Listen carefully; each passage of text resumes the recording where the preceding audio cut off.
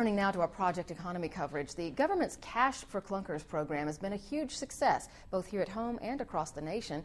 But as 4029's Tess Maune reports, some used car dealerships say they feel like they've been left behind. The Cash for Clunkers program is designed to help take cars like this off the road and replace them with cars like this. But it's changing the way used car dealerships do business. Uh, it's hard for us to compete because we don't get the rebate back.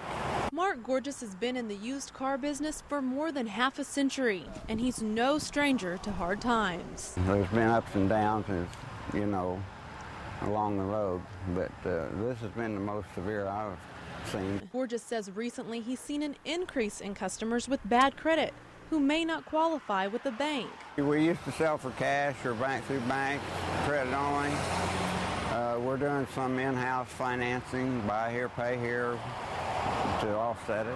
He says the economy coupled with the Cash for Clunkers program means there's a certain amount of risk to it. But it's a risk he's willing to take to get the consumer to buy. There's a certain amount of risk getting up in the morning. Allison Osmera was at the luxury cars lot today to buy this used Kia.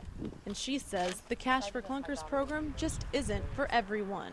I considered it, um, but since uh, my funds are kind of strapped, I wanted to go with something less expensive and and still keep my, my own little clunker for backup. And as for Mr. Gorgeous, he says he's been in the business long enough to know it'll eventually turn around.